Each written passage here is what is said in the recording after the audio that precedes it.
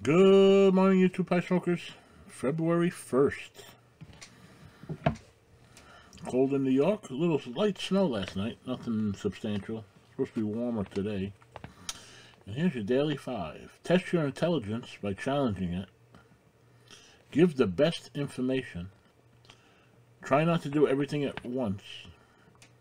Repeat the sacred words of great teachers. Don't risk what you don't want to lose. Hope you had a good evening. It was a tough week. Um, the tributes for matches is really incredible. Um, not much more to say to that, but um, I will miss him.